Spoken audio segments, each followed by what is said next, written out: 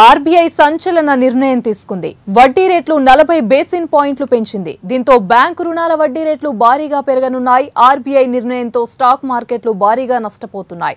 సెన్సెక్స్ వెయ్యి పాయింట్లు నష్టపోగా నిఫ్టీ రెండు వందల ఎనభై పాయింట్లకు పైగా నష్టపోయింది.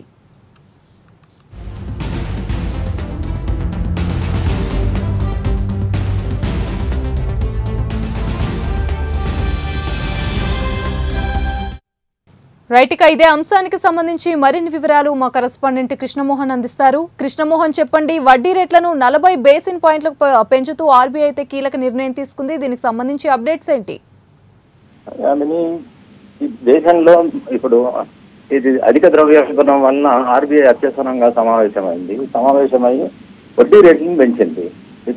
వడ్డీ ఆర్బీఐ ఏదైతే అనుకుందో ఆ స్థాయిని మించి ఆర్బీఐ ఏంటంటే four to six percent four to six percent మధ్యలో ద్రవ్యోల్బణం ఉండాలని నిర్ణయించింది. ఇప్పుడు ద్రవ్యోల్బణం విపరీతంగా పెరిగిపోయింది. సో మీకు తెలిసిందే కదా ఈ ముడి చమురు ధరలు ఇవన్నీ నిత్యావసర ధరలు అన్ని పెరిగినప్పుడు సో న్యాచురల్గా ఈ వడ్డీ రేట్లు పెంచాల్సి వస్తుంది. జీరో ఇప్పుడు ఆర్బీఐ గవర్నర్ అత్యవసరంగా సమావేశం జరిపి బోర్డులో ఏకగ్రీవంగా అందరూ బోర్డ్ ఆఫ్ మెంబర్స్ అందరూ ఏకగ్రీవంగా దాన్ని ఒప్పుకున్నారన్నమాట. సో వడ్డీ రే ఇది ద్రవ్యోల్బణం తగ్గించేదానికి వేరే ప్రత్యామ్నాయం లేదు కాబట్టి వడ్డీ రేట్లను పెంచాల్సి వచ్చింది.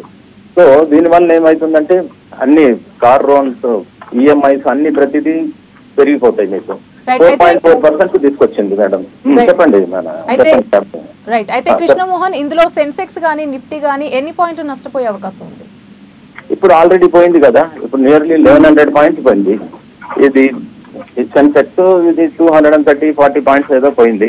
న్యాచురల్గా అది వడ్డీ రేట్లు పెరిగినాయి అంటే ఈ ఫస్ట్ ప్రభావం చూపించేది స్టాక్ మార్కెట్ మీద. వడ్డీ రేట్లు అయితే ఎప్పుడైతే వడ్డీ రేట్లు తగ్గుతాయో దేశం యొక్క జీడిపి పెరుగుతుంది. వడ్డీ రేట్లు ఎక్కువ ఉన్నప్పుడు ఎవరు కొంటారు? మీరు కొనలేరు నేను కొనలేరు. ఇప్పుడు కారు కొనాలనుకోండి వడ్డీ రేట్లు ఎక్కువ ఉన్నప్పుడు కొనరు కదా. Hmm. సో న్యాచురల్ ఏంటంటే ఇన్ఫ్లేషన్ తగ్గించేదానికి ఆర్బీఐ ఎప్పుడు ప్రయత్నిస్తుంటుంది. ఇట్నే వడ్డీ రేట్లు పెంచాలని. After two two thousand eighteen తర్వాత this is the first time ఇదే ఫస్ట్ టైం ఆర్బీఐ వడ్డీ రేట్లు పెంచింది. ఇంత పెద్దగా పెంచడం కూడా చాలా ఎక్కువే. జీరో పాయింట్ ఫోర్ పర్సెంట్ అంటే నలభై పైసలు పెంచినట్లు వడ్డీ రేట్లు. సో ఇది దిస్ ఇస్ ఏ హై చాలా ఎక్కువ పెంచింది ఆర్బీఐ. జనరల్గా ఏంటంటే five zero point five percent zero point ten percent కంటే ఎక్కువ పెంచదు. బికాజ్ ఇప్పుడు ఇన్ఫ్లేషన్ ఎక్కువ ఉంది కాబట్టి ద్రవ్యోల్బణం ఎక్కువ ఉంది కాబట్టి ఈ నిర్ణయం తీసుకుంది. Right right thank you Krishnamohan